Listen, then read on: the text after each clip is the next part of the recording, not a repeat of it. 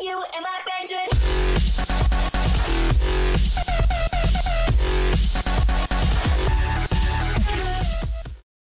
Nova tatuagem nas É, costas. tatu nova. Boa bola na frente do Thiago. Fez o drible Bruno, foi pro chão. E a arbitragem para o jogo e está marcando pênalti. Marcou pênalti. Pênalti para Sorocaba, restando 12 h 44. Já autorizado, vem ele aí, pé esquerdo. Gol de Sorocaba! Falcão abre o placar.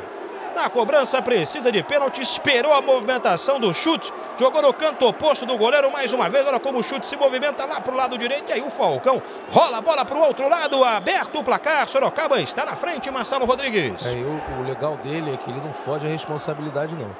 Não. Traz Falcão. Joga a bola na frente, Rodrigo pisou, devolveu no Falcão. Gol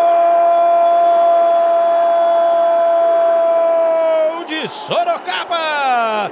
Toca nele que ele resolve. Falcão recebendo uma ótima bola do Rodrigo. Entrou na frente do goleiro chute e de biquinho aumenta a vantagem para Sorocaba mais uma vez. Olha como funciona a jogada de pivô. O Rodrigo espera a passagem do Falcão e aí de um pé para o outro. Movimento rápido para vencer o goleiro de Barueri. 2 a 0 Sorocaba. Uma jogadinha de tempo, né? E o Éder Lima já estava do outro lado, no fundo. O Falcão escolheu bem, faz essa cavadinha, acha, procura. O Falcão jogou futebol de São Paulo, ele procura um jogador para referência. Lé. Entrega no meio com o Leandro Lino. Boa devolução para o Lé. Ele avança na frente do chute. Bateu.